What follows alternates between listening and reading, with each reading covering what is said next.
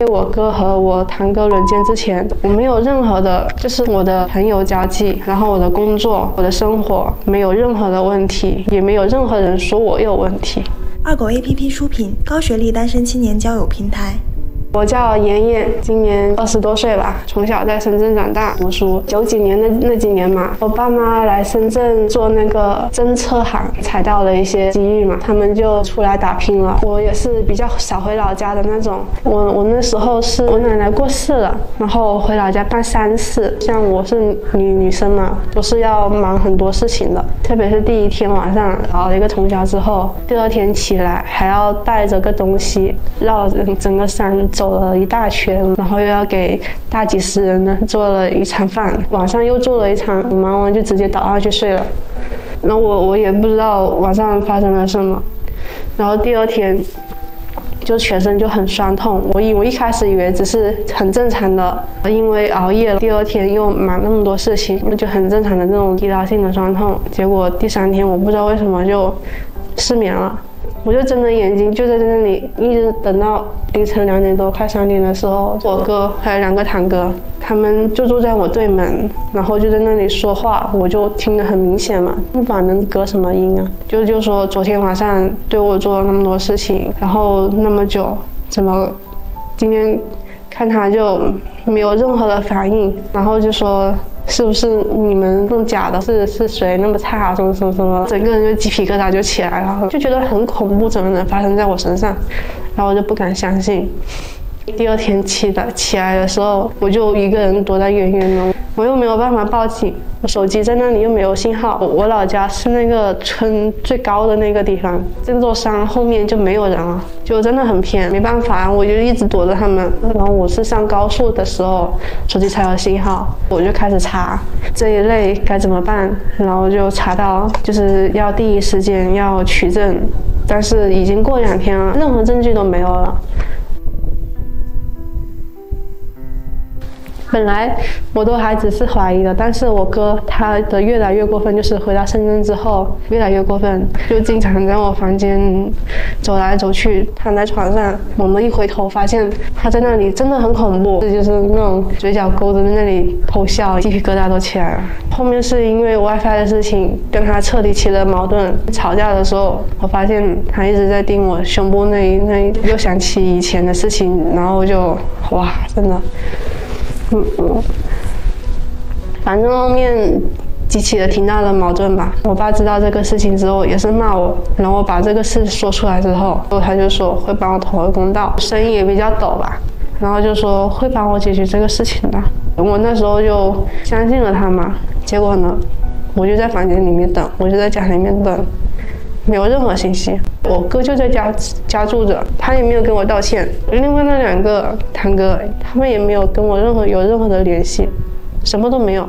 我我就把这个事情用那个手机里面的记录的笔记本记录下来，发到了那个家族群里面。我爸还说，还说我发神经了，就把我踢出家族群了，然后还在我床底下藏藏那些我不知道是什么东西，反正放我在我床底下放了好多草。然后在我窗窗户那里放的那个鹰爪，放了很多那种迷迷信的那种东西。我一说这个事情，我爸妈就就骂我了，就说你自己有病你不知道吗？你又在这里发什么神经什么什么的。我又是一个女儿，然后还是一个从小就比较叛逆的女儿，为什么要因为我牺牲掉他的孩子，他的一个儿子呢？之后我我就我就说我要三家一起那种对证嘛。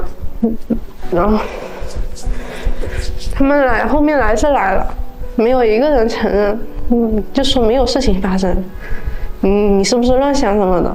那时候我就受不了了，我在深圳这边报警了，但是从中午一点多一直等到凌晨，还跟我说要要做笔录什么的，我信了他们的话，过了那个玻璃门，刚走到那个水泥地，没往没往前走几步，突然四面八方十几个警察冲出来，然后把我压到地上，把我绑上救护车，送到那个医院那里打了一针镇定剂，之后我就被送回家。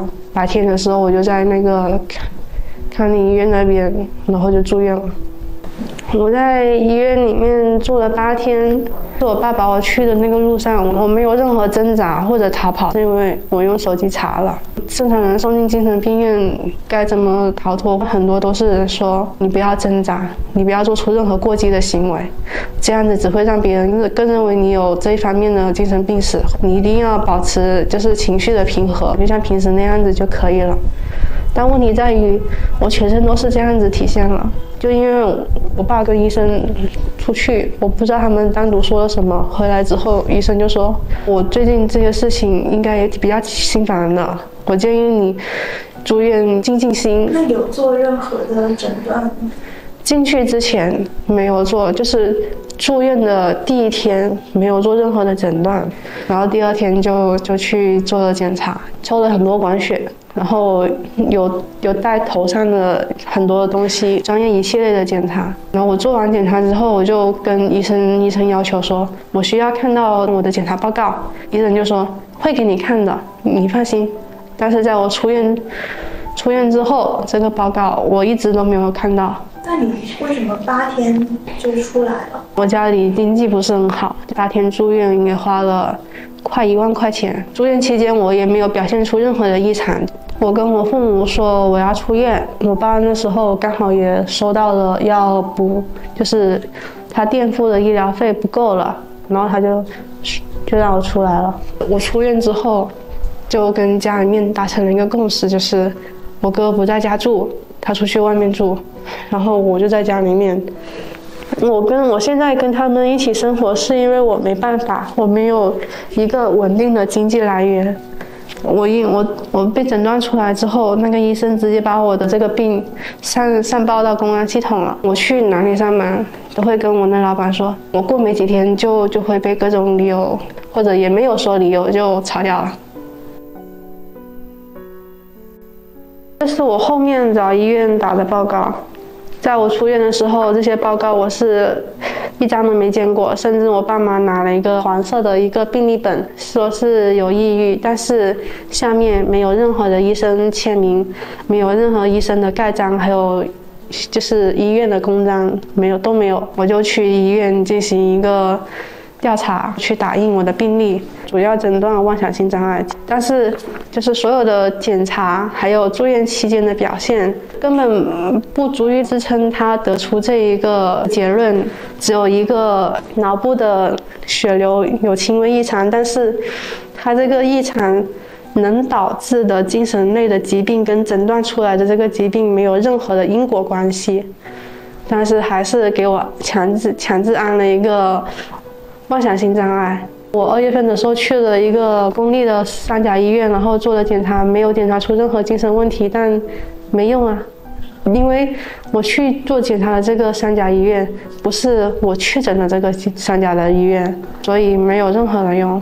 你当时出院后有在吃任何药物或者做任何治疗吗？没有。说到这个，我爸妈会在我的饭里面，然后水里面放，就是医生开给我那种精神病的那那一类的药。我喝了之后，立刻就会头很不舒服，很疼很晕，我就知道了。在这之后，我只敢喝我自己出去买的，然后饭也我也只敢吃我自己做的。你你强压在我身上的这些东西，我不可能任它下来的。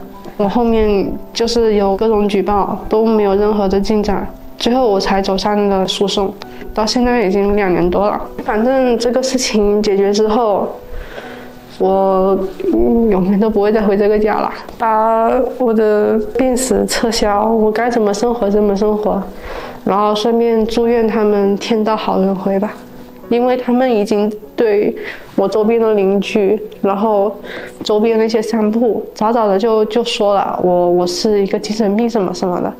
不管怎么样，吵下去永远都是我吃亏，别人只会只会觉得我精神病发作了。我我不可能对他们做出一些实质性的伤害，因为一旦做出来了，他们就有理由说我是确诊了。我不能给他们有任何的把柄，所以我我我只有我只能远离，我没办法。当全世界都不相信你时，你还有勇气相信自己吗？二狗 A P P 真诚记录每一位青年的真实故事。嗯，这个是个二狗 A P P 的广告，真的是。我还是比较相信这个女孩。至于最大的问题呢，就是他事发的时候的情节无法描述，这个好像是可以理解的啊，的太不堪了，无法回忆。呃，但也可能没有办法，呃，问罪了啊，没办法取证。啊，只能祝这个女孩健康独立的生活。